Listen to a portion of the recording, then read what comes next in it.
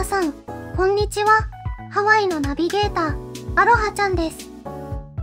先日、ヒルトンハワイアンビレッジからワイキキのディオールまでの道順を紹介しました。今日はそのディオールからワイキキの入り口方面に向かって紹介していきたいと思います。今日も美しい建物が見えています。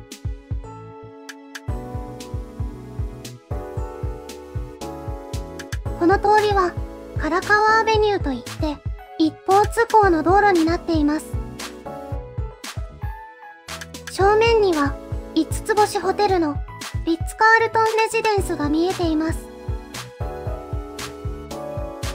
左側に見えているのはバンク・オブ・ハワイの特徴的な建物でワイキキに来ると最初に見えます。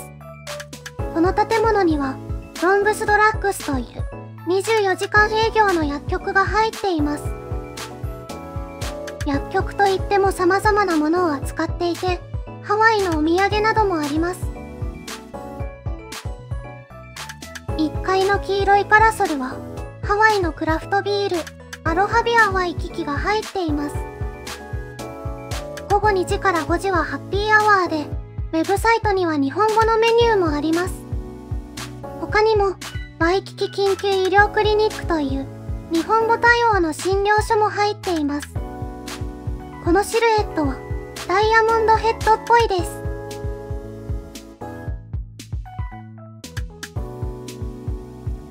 日の出ている方へ移動してみます。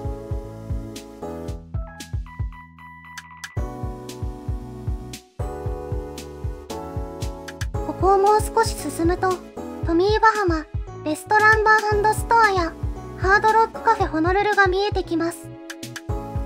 ワイキキトロリーのピンクラインが入ってきました。このトロリーはワイキキとアラモアナセンターを周回していて5ドル50セントで1日乗り放題になります。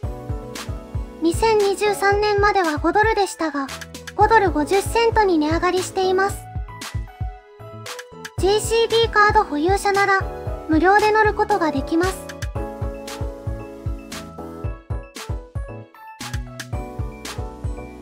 ミーバハマのレストランとハードロックカフェが見えてきました。ヤシの木に青空でとてもいい雰囲気です。左右には別のお店が入っていて、雪崎という時計店と葉崎というお土産物店があります。ここを少し奥へ行くと、お好み焼きの地棒があります。来た道を戻っていきます。ハードロックカフェの奥は、トミーバハマレストランバーストアです。こちらはリゾートファッションブランドのトミーバハマが展開するレストランバーです。新鮮な地元の食材を使ったハワイアンアメリカンな創作料理を提供しています。1階はブティック、2階はレストランバー、3階のルーフトップにはテラススタイルのカクテルバーがあります。午後2時から5時までは、ハッピーアワーもあります。その隣は、ラーメン中村です。オックステールラーメンが人気です。この並びにもいくつかお店があるのですが、コロナ前とはお店がガラリと変わっていました。建物が全体的に綺麗になったような気がします。この上は、ポリネシアレジデンシズ、ワイキキというホテルです。立地がいいのにリーズナブルです。この辺りは、昔ほどお店は入っていないようです。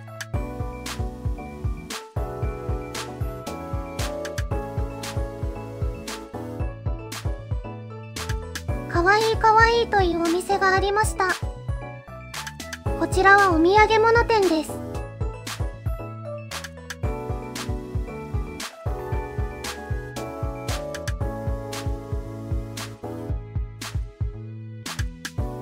その隣はヘンクチュアリーです。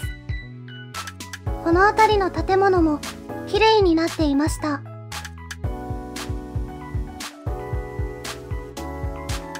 次は、オプショナルツアーのお店です。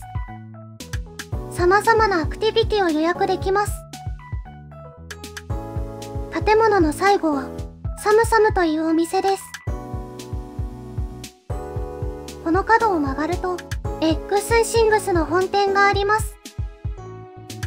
緑がとても綺麗です。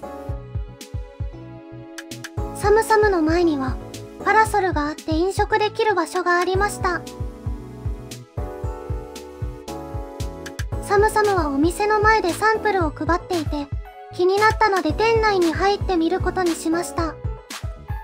サンプルで食べたものは、中東のスイーツで、ハルバというらしいです。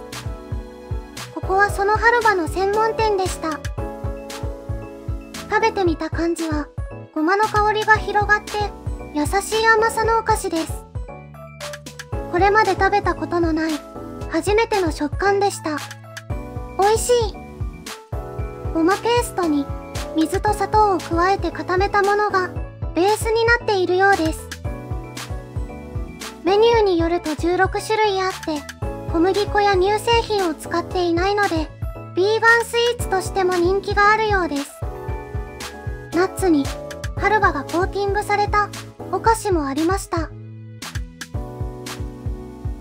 他にはバクラバといった焼き菓子も買うことができます。サクサクとした食感で濃厚な甘みがあるそうです。そして、フルーツインフユーズドティーというものもありました。マンゴー味を選んで試飲させてもらいました。お味はとても濃くて、本物のマンゴーの味に近いと思いました。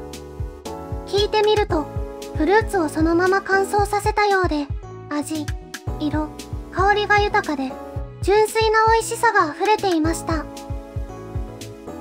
他にはコーヒーもあるようでした。ハルバが美味しかったので、これを買ってみることにしました。種類がたくさんあって、どれがいいか悩んだので、店員さんに聞いてみることにしました。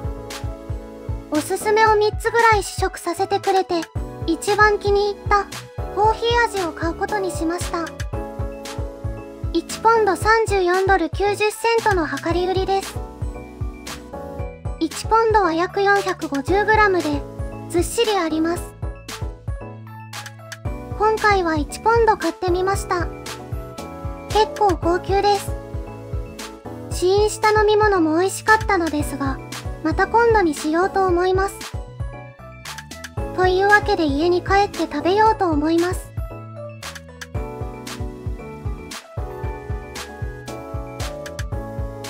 この日はとても天気が良くて気持ちがいいです。写真写りも良さそうですね